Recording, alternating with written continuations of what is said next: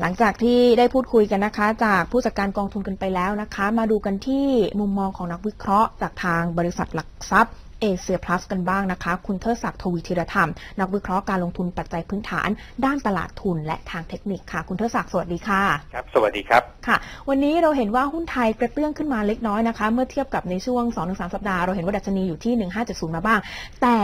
ก็ไม่ได้ไปไหนไกลค่ะ ยังมองว่าครับตลาดนั้นยังคงรออะไรอยู่คะ หรือว่ายังต้องมีปัจจัยอะไรที่ยังต้องจับตาในช่วงนี้อยู่ไหมคะ ครับจริง ๆ ในเชิงของพื้นฐานเนี่ยนะครับ เราก็เคยให้ความเห็นหลายครั้งนะฮะว่าสภาพตลาดหุ้นบ้านเราเนี่ยมันพร้อมสำหรับการปรับตัวขึ้นมากกว่าที่จะปรับตัวลงนะครับเหตุผลที่เชื่อแบบนั้นเนี่ยเพราะเราไปดูข้อมูลในเชิงพื้นฐานเราเห็นว่าด้วย valuation เนี่ยเราคิดว่าเราค่อนข้างจะอยู่ในเกณฑ์ที่เริ่มจะถูกแล้วนะครับ เพราะว่าบนสมมติฐานนะครับ เราคาดการณ์ว่ากำไรสุทธิของบริษัทจดทะเบียนปีนี้เนี่ยน่าจะอยู่มาสัก 9.91แสนล้านบาทนะครับแล้วถ้าหากว่าดูภาพย่อยลงมาอีกนิดนึงนะครับ สำหรับงวดไตรมาสหนึ่งที่กำลังจะประกาศตอนนี้นะฮะ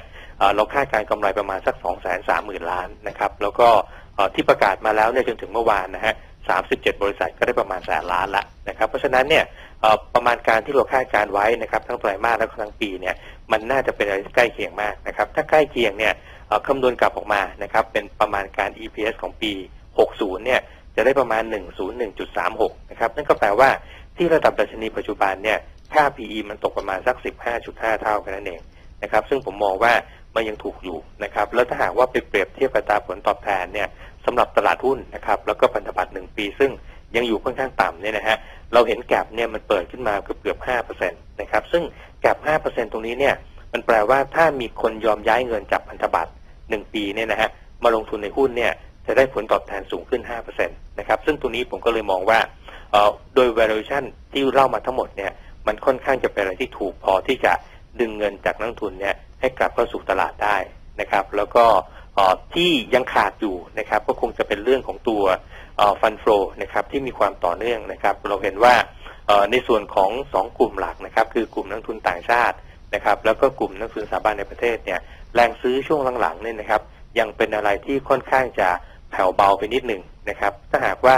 ยังไม่มีสองกลุ่มตรงนี้เนี่ย เข้ามาช่วยขับเคลื่อนตัวตลาดนะครับ ผมคิดว่าตลาดเนี่ยจริงอยู่ไม่มีดาวไซด์นะครับหรือว่าดาวไซด์น้อยมากๆแต่ว่าการขยับขึ้นเนี่ยก็ยังช้าอยู่เหมือนกันนะครับพอมาถึงสภาพวันนี้เนี่ยเเห็นมูลค่าการซื้อขายล่าสุดนะครับ ประมาณ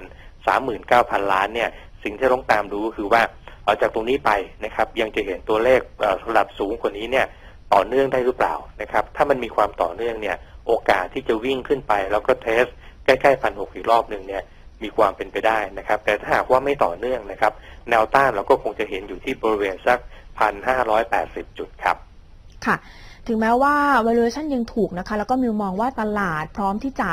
บวกอยู่แล้วนะคะ เรามีโอกาสที่จะเห็นตลาดในเชิงบวกนี้สักระยะไหนคะ มองว่ายังไม่ใช่ในช่วงของเดือนนี้ แต่ว่ายังจะมองว่ามีโอกาสเกิดขึ้นในมุมมองบวกในช่วงไหนบ้างคคะรับ ในช่วงนี้เนี่ยยังคงต้องใช้คำว่าตลาดเนี่ย ยังมีโอกาสที่จะแกว่งแบบผันผวนอยู่นะครับ แล้วกรอบที่เราให้เนี่ยก็คงประมาณสักพันห้าร้อยหกสิบถึงพันห้าร้อยแปดสิบนะครับ ก็คงจะวิ่งอยู่ในระดับนี้นะครับ จนกว่าเราจะเห็นเเม็ดเงินที่เข้ามาเนี่ยมันมีความหนาแน่น แล้วก็คงที่มากกว่านี้นะครับ ผมก็เชื่อว่าลักษณะแบบนี้ถ้าวอลุ่มไม่ได้มีความต่อเนื่องนะ สักพักหนึ่งอาจจะเห็นแรงขายทองกำไรสั้นๆเนี่ยออกมาได้นะครับ แต่เราก็บอกเหมือนกันนะครับว่าถ้าเห็นแรงขายทองกำไรออกมา แล้วตลาดหุ้นย่อลงมาเนี่ย มันเป็นช่วงเวลาในการที่จะต้องหาหุ้นนะครับ แล้วก็เก็บเข้าพอร์ตมากกว่าที่จะทิ้งหรือว่าหนีออกไปมากนะฮะเพราะฉะนั้นตรงนี้เนี่ยเอ่อถ้าย่อลงมานะครับ ผมมองว่าเป็นโอกาสมากกว่าครับ ค่ะ ได้ค่ะ ขอบคุณคุณเทิดศักดิ์มากนะสำหรับครับมุมมองการลงทุนในช่วงนี้ค่ะ สวัสดีครับ สวัสดีค่ะนี่ก็เป็นภาพรวมนะคะจากบริษัทหลักทรัพย์เอเชียพลัสนะคะก็มองว่าในช่วงนี้กรอบ 1,560 ถึง 1,580 อาจจะมีจังหวะของการขายทำกำไรออกมา ก็มองจังหวะนั้นหาหุ้นที่ดีเก็บเข้าพอร์ตไว้นะคะ